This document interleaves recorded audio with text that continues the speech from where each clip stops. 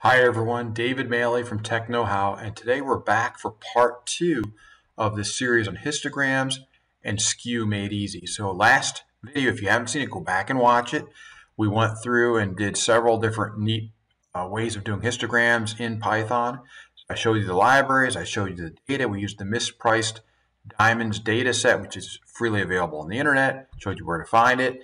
Uh, we removed the uh, nulls, NA values, we uh, showed several different ways of plotting uh, histograms and means on them, how to determine the mean, and how to plot the mean in a vertical uh, line on this histogram, the diamond count by price.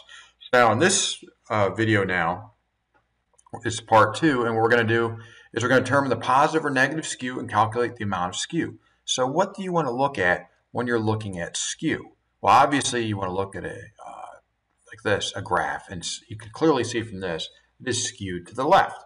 Okay, but what does that mean? So let's go down here. Generally speaking, when you look at skew, what they want to look at is they want to calculate the amount of skew, and you want to look at the mean, the median, and the mode. So when we look at this, we've got the mean. We already determined that in the last video, mean underscore a, which equals numpy dot mean, np dot mean of the data frame 1. Remember, we switched the data into data frame 1 from data frame to remove the nulls dot price, the price column. And so all you got to do is recopy this piece right here and you will get the mean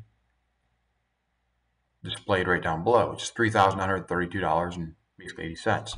Now the median is basically the same thing. Numpy.median instead of mean, same exact code. It gives you the median. The median is a little bit less, 2401. Now, there is no mode, unfortunately, in NumPy. Why? I don't know. Doesn't matter. So you got to import statistics library, just like this, and then you do mode underscore a, just like we did above, equals statistics dot mode instead of np dot mode, statistics dot mode, and then df1 dot price, same exact way. And then you run the same, this same part right here, the same exact way. That gives you 605. So you know that your mode is 605, your median is 2401, and your mean is 3932. Now, determine the skew. This is how it works right here. So if you have a positive skew, your mean is going to be greater than your median, which is greater than your mode. Or in other words, your mode is less than your median, which is less than your mean. Okay? If you have a negative skew, it's the opposite. median stays in the middle. If you have no skew, well, that's an instance where the mode equals the median and equals the mean. That would be a perfect uh, no skew graph. Well, that probably doesn't exist in nature. So what we're going to do is look at our data. So what do we have? Our mean is greater than our median. That's greater than our mode. We have right here, this one, the first one. See this right here?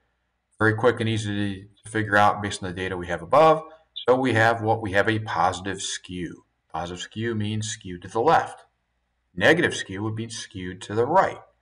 Okay, so once you've determined that you have a positive skew, in this case, that's what we've determined, now we know how skewed is it? How badly skewed or slightly skewed is the data? So from the above data, we figured out that it's positively skewed, but we also want to calculate the adjusted Fisher-Pearson coefficient of skewness using skew, and we're going to use a simple way from Scipy scipy dot stats. Okay, you don't have to memorize, you don't know, you know it's the Fisher-Pearson coefficient of skewness. It's a leading factor and way that they measure skew.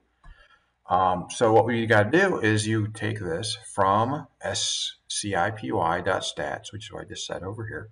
We're going to import skew. See that? And once you have skew imported, then all you need to do is print the skew based on that data frame column. So in this case, we're using data frame one dot price. So the skew on that is 1.618, which is a very high uh, skew. So if we print that, we can also print it just like this. Same thing, skew, df1.price, and we can remove the bias from it. This will give a slightly different answer because it removes the bias from it. And skewness is less than negative 1 or greater than 1, the distribution is highly skewed. So what do we have here? We have far greater than 1. We're at 1.6. We're above 1.6, 1.618 to be exact. So what that means in this case, the price is what? It is highly skewed in a positive manner. It's highly skewed to the left. So if you go back up and look at our data, yep, it's highly skewed to the left. See that? Now, this could be anything. You can use any data and figure out where it's skewed how, but this is exactly how you do it. So you got to figure out the mean, the median, and the mode, right? And then you've got to figure out from that, is it positively skewed? Is it negatively skewed? or does it have no skew? Odds are you're almost never going to see something that has no skew unless it's perfect data. So you're going to have, you know, either this or this, and you're going to have a positive or a negative skew. And then you want to see, okay, how bad is skew? Obviously, you can look by looking at it; it's very skewed to the left. Okay, and then down here, you just calculate it very easily with skew df1.price. You want to do that first from SciPy stats. And then next, you want to do it with the bias removed. Bias equals false. And you end up with this, your, your Fisher-Pearson coefficient of skewness. In this case, it's 1.618 or 1.62. In either case, it doesn't matter. It's far greater than 1.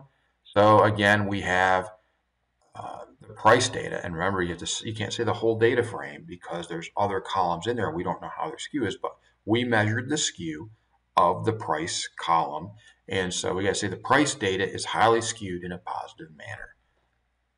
And I hope you found this helpful and informational. This is great stuff to know in data analytics, and analytics, data science, data engineering, and all of those related uh, curriculums.